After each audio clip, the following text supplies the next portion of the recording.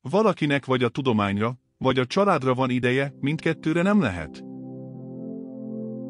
Az Isten szó számomra nem más, mint az emberi gyarlóságok kifejeződése és terméke, a Biblia pedig kétségkívül tiszteletre méltó, ám mégis primitív legendák gyűjteménye, amelyek emellett meglehetősen gyerekesek is.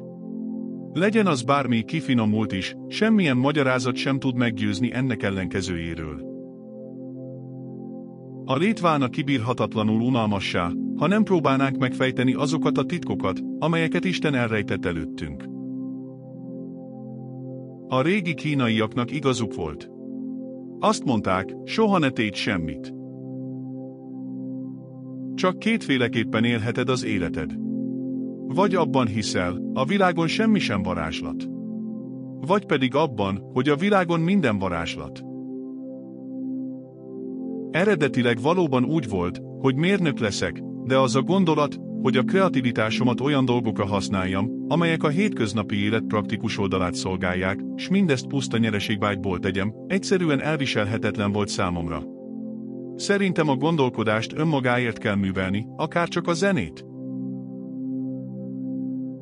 Ha Eukleidésznek nem sikerült valakiben fiatalos lelkesedést gerjeszteni, akkor az nem született tudományos gondolkodónak. Mindenki tudja, hogy bizonyos dolgokat nem lehet megvalósítani, míg nem jön valaki, aki erről nem tud, és megvalósítja. Mindent, ami valóban nagyszerű és inspiráló, olyan egyén teremtett, aki szabadon tudott dolgozni. A tekintély átgondolatlan tisztelete az igazság legnagyobb ellensége. A nacionalizmus gyerekbetegség, az emberiség kanyarója. Nézz a természet mélyére és mindent jobban fogsz érteni.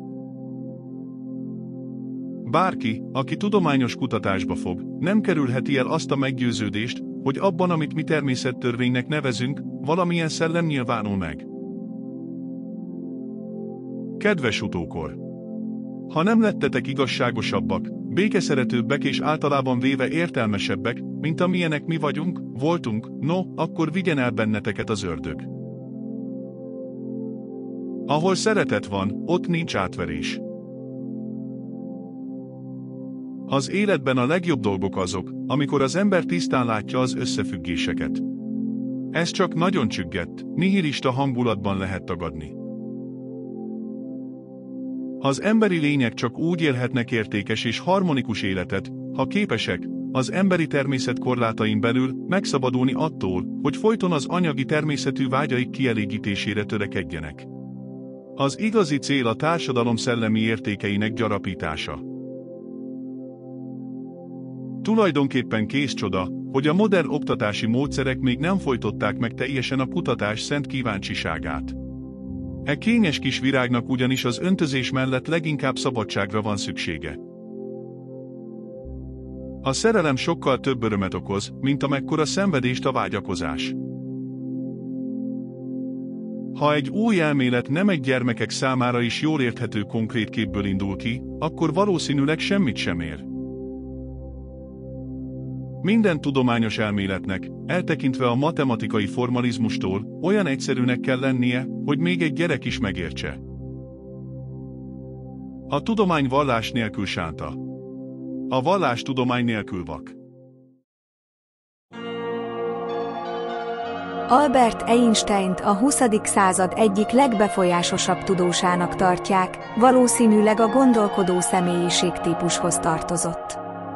Egy gondolkodó kiemelkedik ragyogó elméjével és intelligenciájával, és döntéseit észszerű, logikus módon hozza. Einstein nyugtalan személyiség volt, bár néhány éve népszerűvé vált képen nagyon nyugodtnak, bölcsnek tűnhet. Rendkívül kíváncsi volt, nagyon különbözött a többi akkor élt embertől. Köszönöm, hogy megnézted a videót. Amennyiben tetszett, kérlek kattints a like gombra, és ha még nem iratkoztál fel a csatornára, a videó alatti linken megteheted. A szuper köszönet gombbal pedig támogathatod a csatorna fennmaradását. Köszönöm!